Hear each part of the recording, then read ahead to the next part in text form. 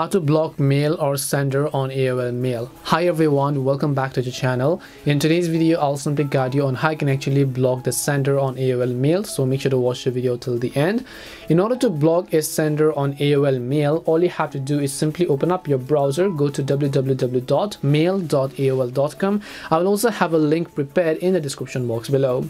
Once you go to mail.aol.com, just go to the inbox section. You'll be able to see a couple of emails that I've received. So let's see here are basically some of the spam emails that you don't want to receive from them anymore. One thing that you can do to block that sender is to first of all simply go ahead and select their name over here or that specific email.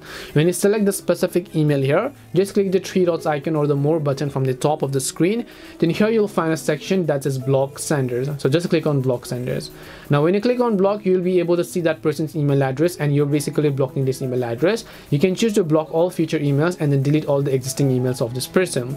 Now once you've done this just click on the ok button and then all the emails of this person to you is actually going to be blocked and then you will no longer receive their email. This is simply how you can block senders or mail on AOL mail. We hope the video was really helpful and if it did help you make sure to leave a like and subscribe to the channel.